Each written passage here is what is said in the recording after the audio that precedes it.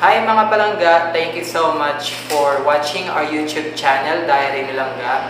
Ako nga pala si Arvin. Today's video mga palangga, I'm very excited because today we are going to review my newly purchased iPhone 12 Pro. I-share ko lang mga palangga bakit ako bumili ng bagong phone na iPhone 12 kasi nabiktima po ako ng Dura module. So, kayo dyan kapag uh, nasa bus kayo or ma, nasa public transportation, uh, huwag kayong gagamit ng cellphone. Be aware or, or kailangan nyo maging mamatsyag sa paligid kasi meron ngayong, uh, alam nyo man ngayon, may pandemic. So, that's why instead of uh, buying the same model, iPhone 11, I decided to buy this brand new iPhone 12 Pro. And I will share to you why. So keep on watching this video.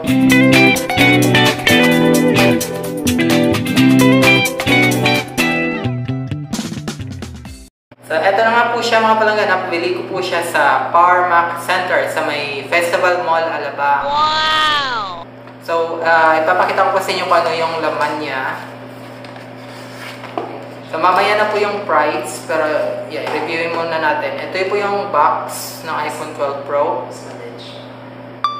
So, yan. Yung laman po niya is yung phone lang. Yan. And then, yung kanyang, ano lang, charging port. Wala, ay, keep, charging cable pala.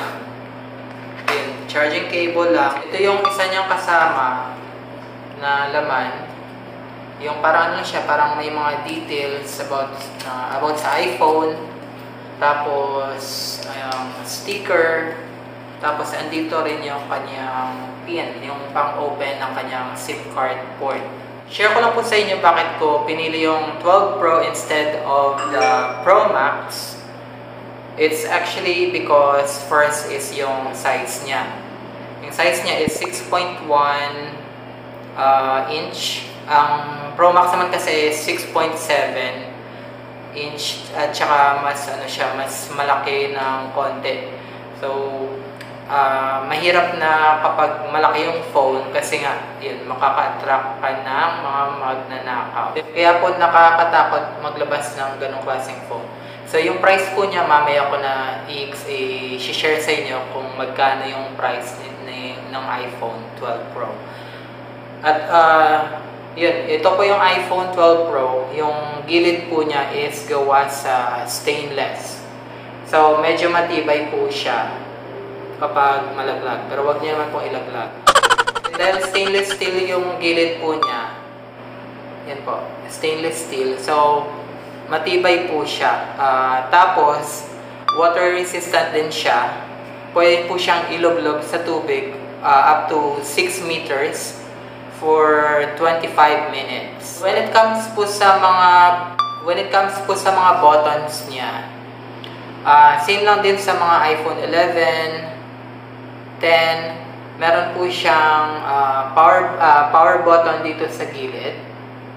Ito, tapos uh, dalawang volume button. Ito yung volume up tsaka volume down. At ito naman yung kanyang yung ringer, yung maliit kung gusto mo siyang i-silent mode. Tapos po, meron din po siyang tatlong camera sa likod. Yan. Tapos isang camera sa harap dito. Tapos uh, yung kulay po niya, meron siyang apat na klaseng kulay merong gold, silver, graphite, at Pacific blue. So, yung napili ko po is graphite. Ito po yung kulay ng graphite. Para siyang gray na parang brown na parang black. Basta ganun. So, ito po yung napili ko kasi, uh, yun, hindi siya, hindi siya masyadong marumi. I mean, yun, parang hindi siya masyadong habulin ng dumi. Tapos, uh, pwede siyang ibagay sa kahit anong kulay, anong, kahit anong case. So, bumili din ako ng case para sa phone. Tsaka pinalagyan ko na rin siya ng tempered glass. Nakabili pa ako ng case Di ba? Ang ganda ng navy green. Yung navy green na case na binili ko. Hindi po ako naniniwala na merong 5G sa sa Pilipinas. Pero nung tinry kong insert yung SIM card ko na 5G ready naman. So yun, nabigla ako. Meron pala siyang 5G. Tingnan nyo. 5G na po siya. 5G. Ayun, malabo. Medyo malabo. Ayan, 5G. Kapag ginagamit po siya sa internet or pag nag-mobile games po kayo, maganda po siyang gamitin kasi hindi siya masyado naglalag. Tapos, uh, yung kanyang processor is A14 Bionic chip. So, mas parang kasing bilis niya yung mga processor ng mga computers. So, mabilis po talaga siya. Meron po siyang tatlong cameras. So, at meron din siyang LiDAR scanner. So, yung LiDAR scanner is andito po. Uh, ano po yung LiDAR scanner? Para siyang uh, ini-enhance na yung picture tapos uh, tawag ganito. Uh, pwede siyang parang sa augmented reality. Parang mga 3D na mga makakakuha ka ng mga 3D pictures. Yung front camera at saka back camera niya po is 12 megapixel. Tapos, ito, papakita ko sa inyo yung na-capture niyang picture kanina. Ito po, yan. Ganda, ang linaw ng wow! kanyang kuha. At saka, napaka bright ng, ng, ng color na nakuha niya. Tapos po yung, meron siyang ultra-wide feature. Tapos, uh, five times, uh, ang tawag ito? Five times optical zoom.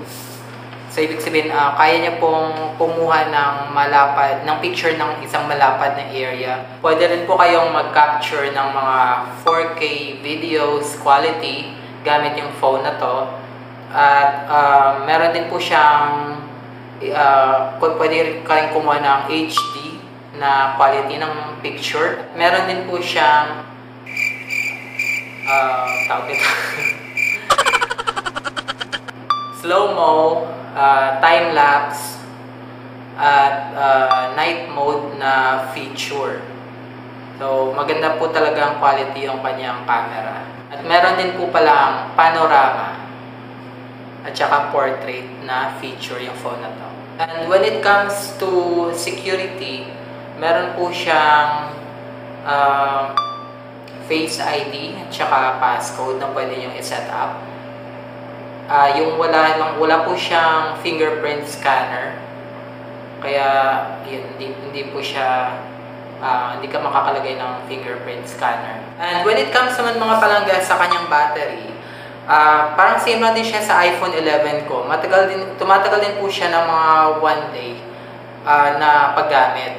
Tapos, ma meron po siyang dalawang options for charging. Pwede po siyang i-charge through Type-C USB charger or wireless charger.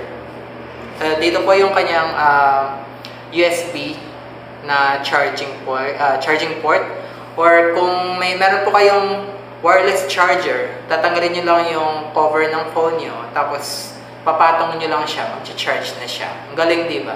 Ang maganda pa dito mga palangga is um, compatible po siya sa mga iba't ibang devices like hearing aids or yung mga, alam niyo yun, mga devices na ginagamit ng mga persons with disability.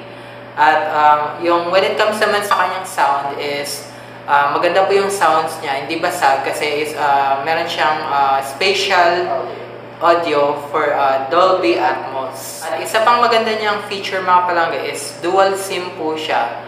Ang isang SIM is physical SIM at yung isa naman is eSIM. Pero sa ngayon wala pa tayong eSIM sa Pilipinas. Pero in case na magka, magkaroon tayo, pwede niyong mag, pwede niyong i-activate yung kanyang eSIM dito. So, hindi mo na kailangan ng physical SIM kung meron, meron kung pwede na yung eSIM. At si iPhone 12 Pro mga palangga, meron siyang tatlong uh, memory storage. Mer yung standard niya is 128GB. Tapos yung next na mataas is 256GB At yung pinakamataas na memory storage niya is 512 GB. At yung price po ng, ng iPhone 12 Pro varies according to memory size. So yung 128 GB, um, it costs 62,990. Yung um, 256 GB naman is 6, uh, 68,990. At yung 512 GB is 80,990. Ay, yun po yung price ni Apple. Yung price naman ni uh, Power Mac is different. So yung nabili ko sa Power Mac, yung price po niya is 64,990. At since nagbayad ako ng cash, nakaroon, nakakuha po ako ng 5% discount. So, yung binayaran ko na lang is 61,740 pesos and 50 centavos. So, nakasave din ako ng isang libo. Pwede ka rin magbayad ng using debit or Visa or debit card or credit card. Kaso yung makukuha mo lang na discount is 3%. Kaya yun, pinili ko na lang na magbayad gamit ang cash. As a piece of advice mga palangga sa mga nagbabalak na bumili ng bagong phone, for example, nawala yung phone nyo, uh, pag-ipunan nyo po muna Di gaya ko na yun, nawala yung phone ko. Yun, uh, nag-ipon, nag-ipon ako, tapos yun, naubos yung naipon ko. Ingatan ko na po itong phone na to at uh, gagamitin ko po itong phone na to sa pagbablog at pagka-capture ng mga quality pictures. Dito na nga nagtatapos yung video na ito mga palangga at I hope na nag-enjoy kayo at may nakuha kayong mga idea about sa features ng iPhone 12 Pro if kayo po ay nagbabalak na bumili. At uh, kung hindi pa po kayo subscriber ng channel namin, please subscribe. At then kung gusto niyo maging updated sa mga next videos namin, please also click the notification button. At kung may comment kayo, please comment below. At hanggang sa muli, thank you so much for watching. Paalam!